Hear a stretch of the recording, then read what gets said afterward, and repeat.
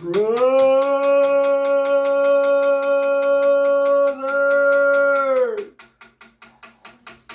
and sisters.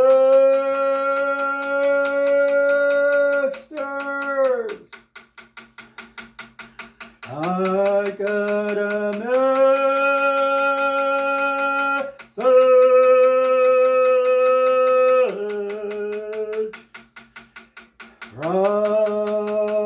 from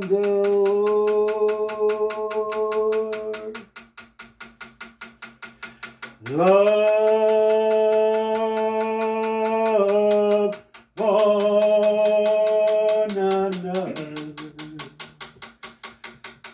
Help one